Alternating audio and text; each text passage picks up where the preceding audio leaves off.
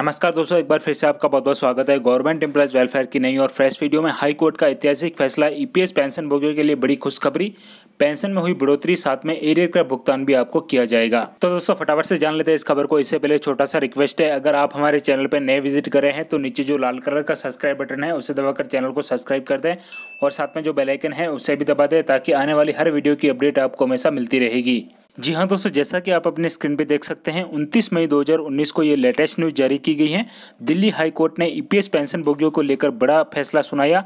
इन कर्मचारियों को मिलेगा सीधा फ़ायदा। जी हाँ दोस्तों, दिल्ली हाई कोर्ट ने जो जजमेंट दिया है 22 मई 2019 को वो आप अपनी स्क्रीन पे देख सकते हैं। जी हाँ दोस्तों, दिल्ली हाई कोर्ट की ओर से 22 मई 2019 को सुनाए गए फैसले के मुताबिक ईपीएफओ द्वारा संचालित एग्जेप्टेड ऑर्गेनाइजेशन में काम कर रहे कर्मचारी या फिर रिटायर हो चुके कर्मचारियों को अब बिना किसी कट ऑफ़ डेट या सैलरी की सीलिंग लिमिट के आधार पर मंथली पेंशन मिलेगी।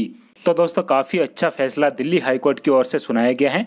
दिल्ली हाईकोर्ट के लिए एक लाइक ज़रूर करें वीडियो को। जी हाँ दोस्तों, हर प्राइवेट कर्मचारी की खुशी तब बढ़ जाती है जब रिटायरमेंट पर उन्हें ज़्यादा पेंशन मिलने की खबरें आती हैं। दिल्ली हाईकोर्ट ने पेंशन को लेकर एक बड़ा फैसला सुनाया है।